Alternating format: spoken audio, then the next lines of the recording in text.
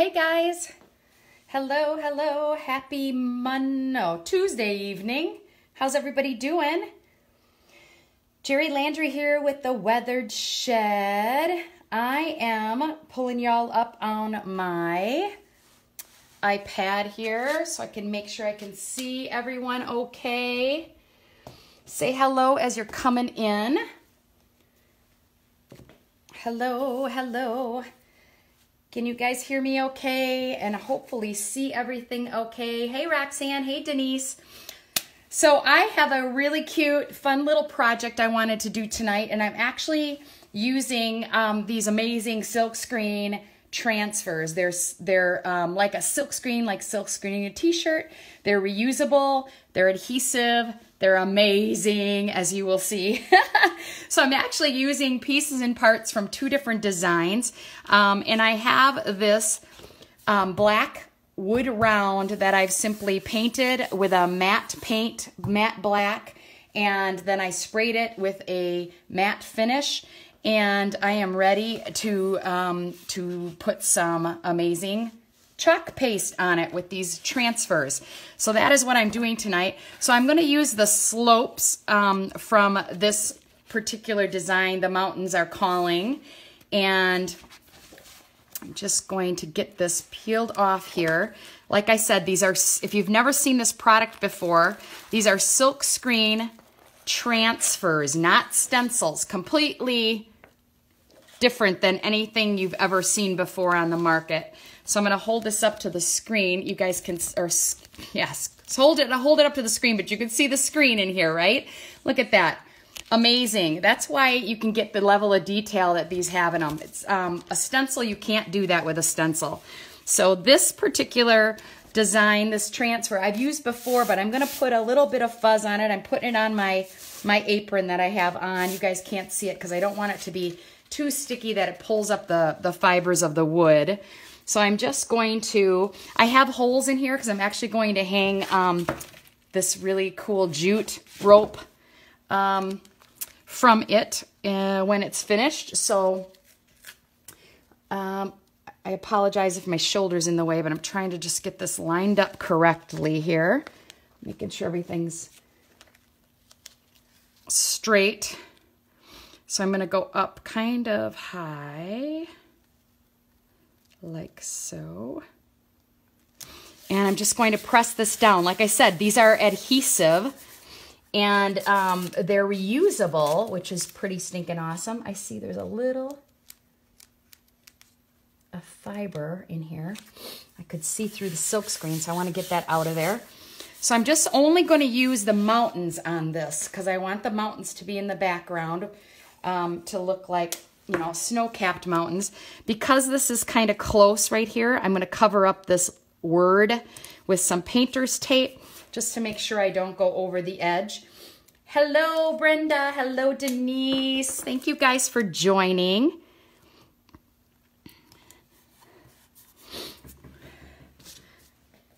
As you guys come in, if you wouldn't mind sharing this out, hit the share button in your lower left hand. I would really appreciate it. It blesses me in my business um, when you can share out my videos. It shows me the love, so I really appreciate that. So I am going to do this top section all in white. So I'm just going to grab a rubber squeegee here. All right, so I am just going to put some globs of white up here and then I am going to take a, this is uh, an angled squeegee. It's kind of hard and it's nice because it really allows you to drag the chalk paste across the image very quickly. And if you guys have not seen this product before and you want to know more about it, I have a special uh, VIP group set up that's all about it. Um, I have tips and tricks and deals and other videos in there. So if you'd like to join that, I will uh, post a link in here shortly when my when I'm done with this video. And also, if you have questions on anything, um, please don't hesitate to ask, okay? It's pretty amazing, um, as you will see. Now there are, um, this wood is not completely smooth, but I'm pretty confident this design should come out pretty good. So as you can see, I barely used any. I scraped a ton back off. You want to be able to see the image through there, and actually I got more right there I missed. Put that in the jar. And then I'm simply going to take and I'm going to peel back, peel and reveal this amazing design. Look at that. It's perfect. Now what I'm going to do is I'm just going to place this in water and then move on to the next part. How simple that was. Simple, simple. Grabbing some paper towel. Perfectly clear, right guys? I mean, look at how nice that looks. Okay, so the next portion I'm going to do is the, um, the lettering that I want to put on here. So I'm putting the slopes are calling and I must go. So that is what I'm going to do next. So I'm just going to peel that off of its backing. And again, you can see the screen through here. But as, as I hold it really close, see that even there's distressing in the letters, you guys. If you're familiar with like a, sil um, a silhouette cameo or a Cricut where you have to cut out vinyls to make, make your stencil, you can't get that level of detail that's in these by using a um, using one of those cutting machines. It's just, it's impossible. So that is why this is so cool and so unique. Um, I think that looks pretty good. I'm terrible with eyeballing how um, straight things are, you guys. It's, it's one of my downfalls, I hate to say. But half the battle is admitting it, right? I am not perfect by any means. It looks, it's funny because when you cut these out, because these are, you know, pieces and parts of transfers, that designs that are cut up. And if you don't cut the line straight, obviously it messes with your eye. Um, and you can think it's straight and it's not. So let me just hold it up here. That looks pretty darn good. All right. Um, a color. What color should the words be? Um, eh, that's always the challenge, as you guys know, if you've watched me before. That always gets to be a challenge for me. Oh, I think I know what I'm going to do. I think I am going to do that in a mint green. Where's my mint green? I love my mint green. Come on, mint green. Where are you? Um, so how's everybody doing? What's everybody up to? Have you guys seen me do this before? I know some of you have. So my mint green, I love, love, love my mint green. Let me show you that color. It's really pretty. Um, but I think it's kind of going to tie in really well with my color scheme here. So let me just get a stir stick. As you guys come in, if you wouldn't mind showing me some love and blessing me by sharing out this video, I would greatly appreciate it. All right. So this is, this paste is a little chunky, but it'll still work fine because you can push through it with your squeegee.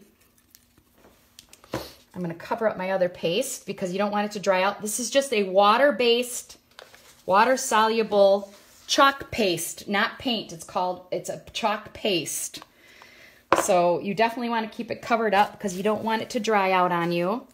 So um, yeah, so I'm going to go ahead and do this in this green because it's very pretty. And again, I'm not too worried about the fact that there's a few chunks in there.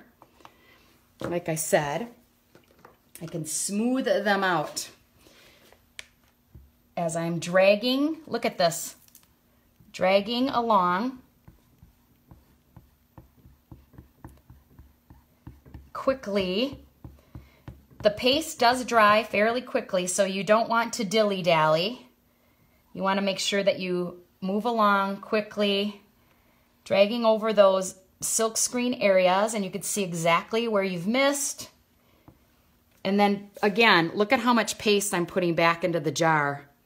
It's unbelievable how little you use. It's amazing. And that you can just, you know, get tons of projects out of these little jars of paste. Okay. Now I'm just going to grab it from one end and I'm going to pull it off. Look at that. Perfect. And again, I'm going to throw this in water because you don't want the, um, the paste to dry inside the screen. Isn't that awesome, you guys? Look at that. It's so perfect. Let me just see if I can zoom you guys in a little bit. You guys are all quiet out there. What is the dealio? Everyone's so quiet. Let me see. Can I can I get you guys in closer? It's so hard when your when your camera is in the the holder to try and drag um, it's like it's almost impossible to um, to uh,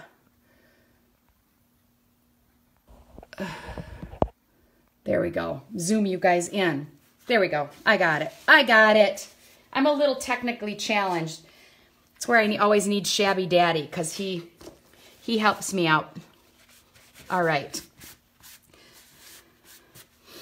Okay, so the next fun part is the actual truck itself, the vintage truck. The cherished vintage truck, which we all love so dearly. Those of us that have used this product before are absolutely in love with the vintage truck. So I am going to be putting, I'm actually going to be putting snowboards in the back of the truck. You guys are so cute.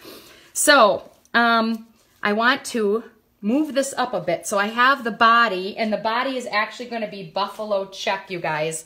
Say what? Buffalo check. So cute. So I'm going to um, put this about right here, I think. Um, let's see. And if I hold the actual body portion over it, I can kind of see where I'm going to end up lining up here. So I think that's perfect. Um, all right, so it's going to be a buffalo check body. I'll scoot up my board so you can see a little bit better. And this comes in a complete, this is like an ad, the truck is sold separately. The truck design is sold separately. And then you um, buy all these little different add-ons. They We have a summer, a winter, um, and they're just all so adorable. Um, I actually think I could maybe go up even a little more. But I'm going to leave them there. Okay, so vintage truck body has to be a buffalo check in red. So I have this pressed down and I'm just going to take the red paste and take another squeegee here and drag it across. So if you guys know someone who loves to DIY, or, you know, even that person that says, I am not crafty, anybody can do this, you guys. So share this video with them. I do workshops on this using this product. Um, I have, if you look in events, I have several workshops scheduled out um, to use this pro product on various different surfaces. It's new, it's exciting, it's different. So if you're local, um, please check those out and share them with your friends. Come out. Seating is limited, and you do have to pre-register and pay. Okay, here we go.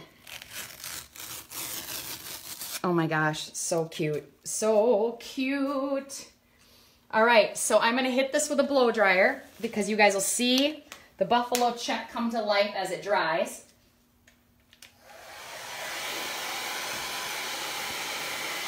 and try and cover up my paste with my with my left hand. Which I'm not good at doing anything with my left hand. Yikes. Okay. Come on, come on, dry, dry. Now you want to make, because you're doing a layering, you want to make sure that this lower layer is completely dry. So bear with me. Bear with the noise There is a bit of a glare on my board I see there. Maybe, can I tilt the camera? Does that make a difference? I don't know if it makes a difference or not. Not really, but it, you'll you'll be able to see better, I think, when I get this next color on, hopefully.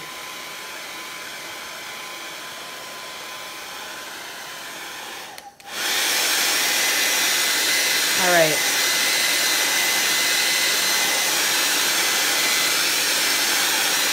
So cute.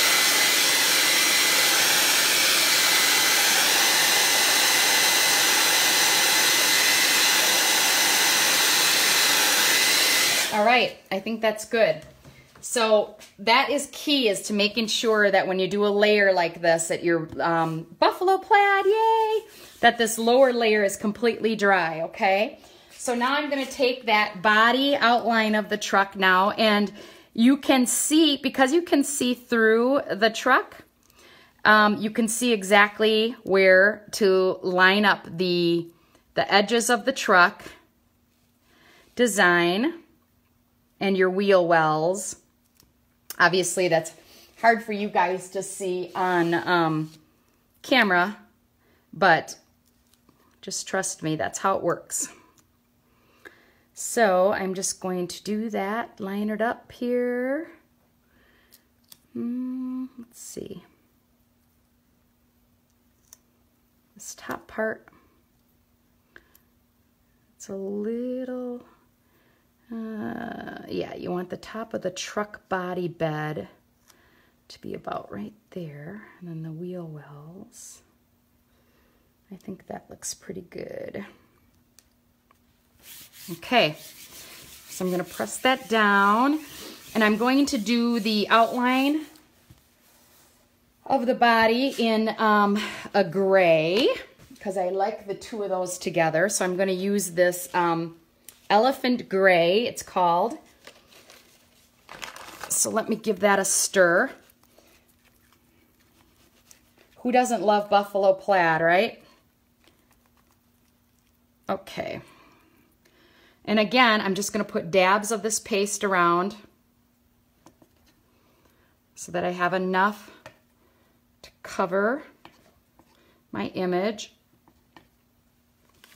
Loving the angled squeegee because again, I get more drag on this than I do with the smaller squeegees that we have. And just start dragging. And you guys, you you're seeing like how fast this is going. Um, it's crazy. Crazy how fast and you can make something so cool. That is why I love it. Because I can whip out designs and creations so stinking fast and to look this good without all that effort of sitting down, cutting machine, loading vinyl, transferring the vinyl, painting the rumpus. I mean, don't don't get me wrong. It has its place. I still do custom work. I still do a lot of custom signs but um, this is definitely a whole lot easier. So there's some pigments, natural pigments in this paste. So I see some red coming through. So all I'm doing is taking my finger and um, rubbing those areas to blend anything that I see that looks reddish. Um, that is a tip. Um, all right. So I need to get that off now because I can see it's drying already.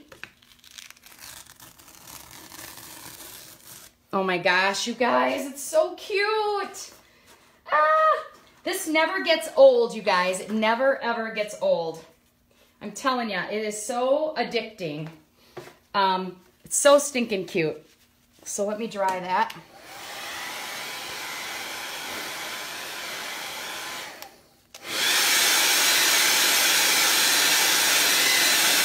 So stinking cute.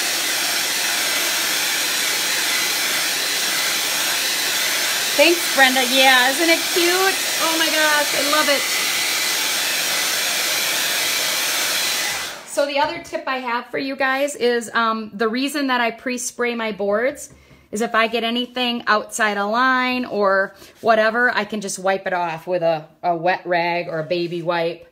Um, and it comes right off because I've already pre-sprayed it. So it doesn't have a chance to like absorb into, you know, my paint of the surface.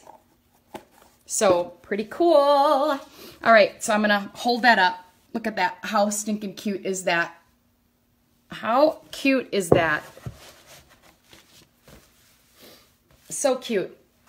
Okay, so now I'm going to put these little snowboards in the back. And this again is um, is two layers. So the boards themselves and then the little um, bootstrap part goes on here. So I'm going to put these, just line these up with the top of the truck bed, like so. Stick them down. What color do you think those boards should be, you guys? I have no idea. Um, I don't know. I'm thinking maybe I don't know. A blue? Should they be a blue, like a, a vintage blue, or should I just do them in white, gray? That's always the challenge. I don't know. Colors stink. I hate that. I hate picking out colors, you guys. Um, snowboards, aren't snowboards like, I don't snowboard, so I have no idea. Are they usually wild colors? Or are they usually kind of tame? I don't know. Anyone? Anyone? Peacock blue, bright. Really? You think so? With all the other colors I got going on? I was thinking, I was thinking maybe this Nantucket blue, but um, I'm concerned because I have this green going on up here. So, you know, do I, I don't know.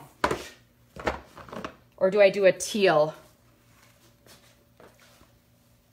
Wild and crazy? Ha! Oh, Lord. That scares me. It scares me to do wild and crazy. I just don't want all the colors to clash. I'm always like, always worried about that. Roxanne, you're so funny. Um, do I do a darker blue maybe?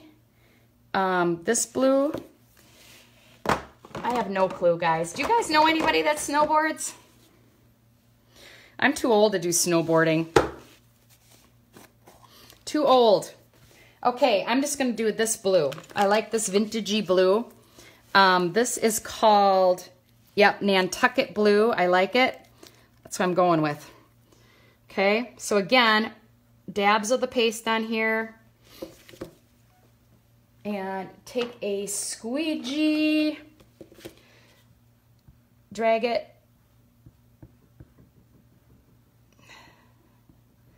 Like so. Again, scraping the excess. Put it back in my jar.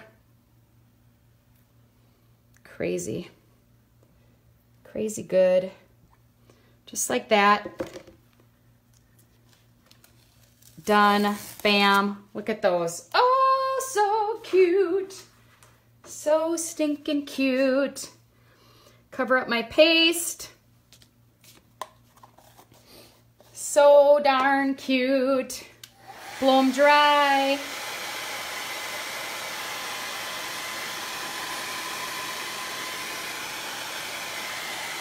Hey guys, say hello as you're coming in. I have a whole bunch of you out here and nobody's saying anything. Hello, hello. Okay, so these are like almost dry already, you guys. Look at that. Crazy. High for a minute. Turn it on high. Make sure they're dry. I don't want to pull off any color. Yeah, I think that was a good choice. I like that color. They're so cute.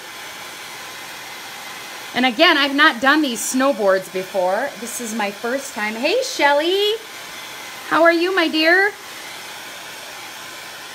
I haven't seen you around in a while. You've been busy? All right, look at those little snowboards. How stinking cute. How stinking cute. Okay, so here's the little buckles, you guys. And look at, so the snowboards had the number one in the corner, and then the buckles have the number two. So that's how you know what piece and part goes first. And um, you take these and you line them up. Okay, so this is where I need the help of my team because I don't know how to line up these little registration marks because I've not done this one before. So how does this work, you guys? Working a lot, Shelly? Yeah. So how does this work? Help me, somebody.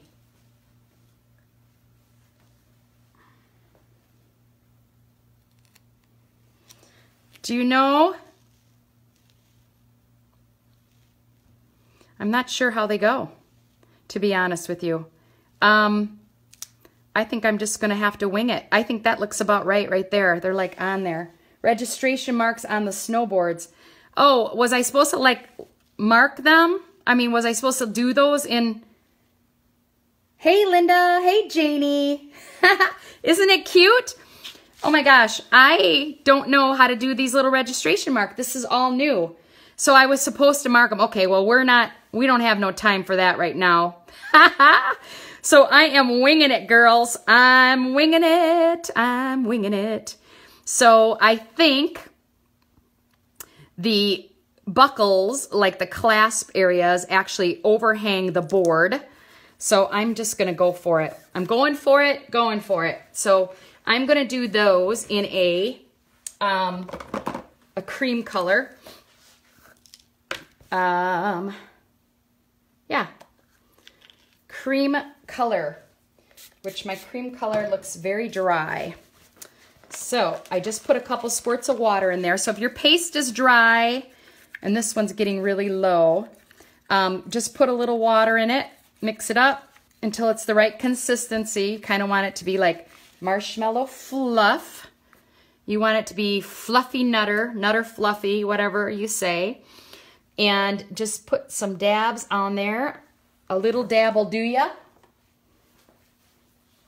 First one had marks, you cover with paste, then add the next one. Oh, cool. See, my designers are on here that have done this before, and they're educating me. How do you like that, you guys? they're giving me a lesson tonight. I love it. I love it. Okay, so um, again, just scraping off the excess back into my jar. So stinking cute somebody who's a, uh, you know, loves the mountains, loves to ski, loves to snowboard. Look at that. Ah, oh, so cute. So stinking cute. So stinking cute. Oh my goodness, you guys.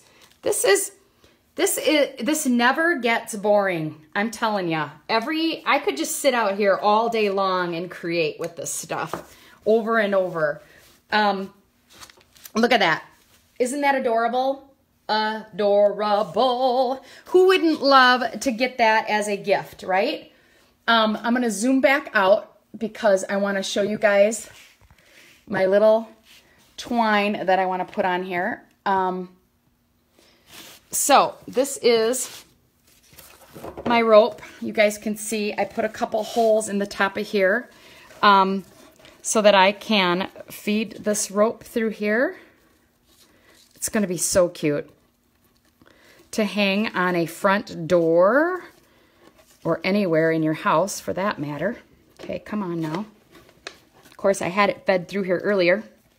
And now because all eyes, the whole world is watching, it's not going to come through very easily. There we go. Come on. So, feed this through. Tie your cute little knot.